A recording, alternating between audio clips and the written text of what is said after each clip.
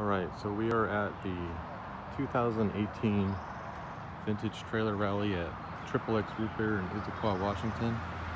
Thought I'd shoot a video of my 73 Ramada uh, since we kind of have it in show mode where everything's cleaned up and um, looking like it does when we're not actually camping.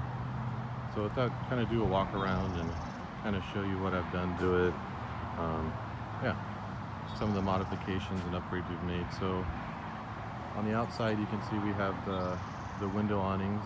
Um, we've had, these came from two different sets of trailers and they had yellowed and um, because it came from two different sets of trailers they hadn't yellowed at the same rate so I spray painted them kind of a hammered hammered paint finish, that Rust-Oleum stuff. Um, they're they're kind of nice to have, um, but they do rattle a lot in the wind um, and they also take up a lot of room so uh, they look cool, but um, if you can get a hold of some, definitely do it. But uh, they're kind of a pain, to be honest. Um, in the back, we have a. Probably noticed the LEDs on there in the lower bed edge. That's a tailgate light strip that I added and wired into the everything else. Um, have a custom license plate frame. It says 73 Apache Ramada submarine service plate for my time in the service. The bed end cap to replace, when I got it, they were pretty cracked and beat up, so I replaced them. Over here we have a radio antenna. This came from Vintage Trailer Supply and is modeled after a uh, Airstream antenna. I've got to refinish the furnace vent on it. When I got it, it was pretty pretty well beat up, but uh, we finished it with the same hammered finish that's on the uh, the window awnings. And then for the wheel covers, these are uh, Cragar replicas. They're actually for golf carts. Um, the nice thing about these is they just snap on and they look like they're five lug, but uh, the, the lug nuts are simulated. So if your trailer is like mine has four lugs, it doesn't matter how many lug nuts you have, they, they should work. We have the 30 amp outlet. Obviously we're kind of parking lot camping so we don't have access to power. Then here we have, uh, that's the battery vent. So, not much going on up here other than a propane tank cover. Here's the shot of the outside added a 120 volt outlet down there. So if you want to plug in at the campground, you have to go there.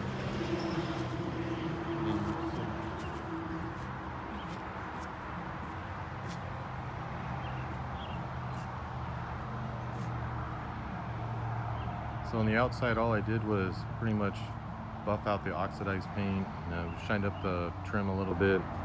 Um, if you ever done that, it's a huge pain in the rear um, using a drill mounted buffing wheel and polishing compound. Uh, it does make a big difference, but it's, it's a lot of work. We have our decorations for the camper show, an old um, Apache magazine ad, pretty cool. So this is our interior.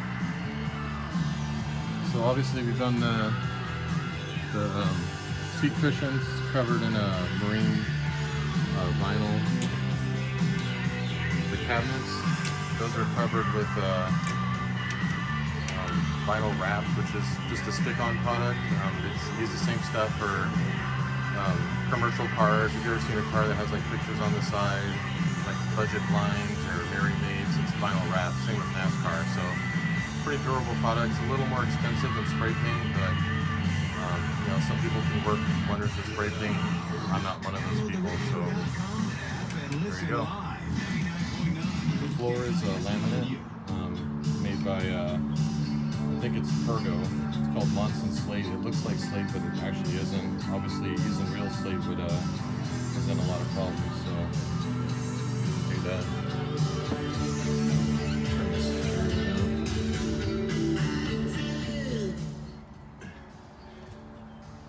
So inside we've got a bamboo countertops. The original countertops in here were pretty chewed up, um, disintegrating, peeling.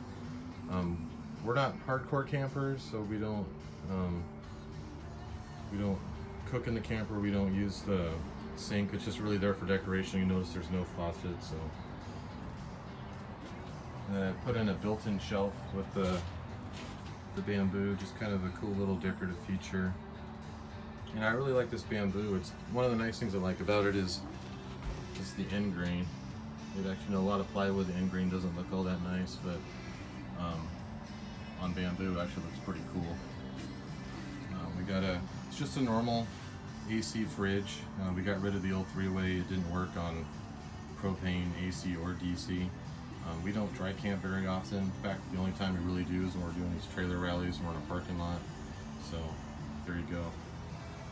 And we have uh, an auto meter, voltmeter. You can use to monitor the um, battery level. It's got a switch for the meter itself. Looks like I'm a little low.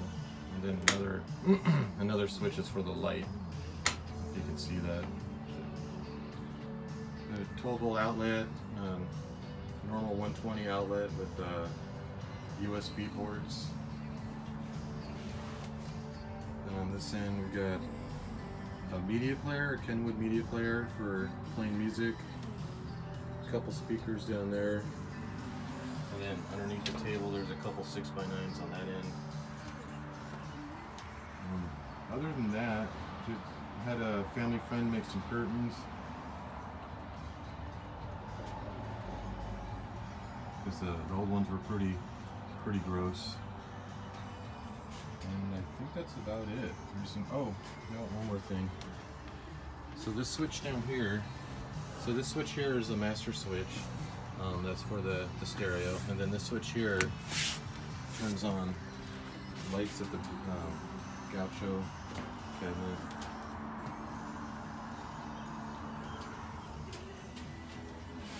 And then we also have converter down here. It's a Progressive Dynamics. I think it's a PD45 or 4045. Kind of an all-in-one, combines the AC and DC. Um, really happy with it. If uh, you're looking to replace the converter in your trailer, be the way to go. And this switch here, this is a master switch, so when I'm about to tow it, um, throw that and it cuts off all the DC circuits and isolates them. And we also also put an outlet, the 120 outlet there, and then there's one on that end too. Uh, one last thing, this switch here, this controls the exterior lights. You may have noticed when I was on the outside that the running lights were still on even though we're not plugged into the plugged into the truck. So it's one of the trick that I learned from some of the vintage trailer people. Now it's kind of cool, real easy to do. You just tap into the um, tap the battery to the running lights through a fuse and you're good to go. So um, other than that, not a whole lot. I did add um, some LED lights. They're nothing fancy because I mean the primary thing or primary purpose of this trailer is to camp in it, not to show it off. I do have the infamous Apache roof sag. Um, issue I'm going to have to address because we do get some water leak through the uh, through the fan if it rains enough, which here in the Pacific Northwest it pretty much does. Um, so